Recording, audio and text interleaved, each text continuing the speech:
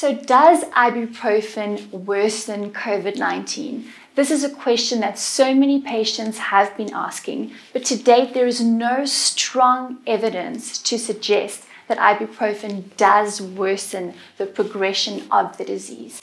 That being said, there are trials underway, and so in the interim, we are advising if you think you might have COVID 19, if you're experiencing symptoms, or if you have been diagnosed, rather use paracetamol to control the temperature.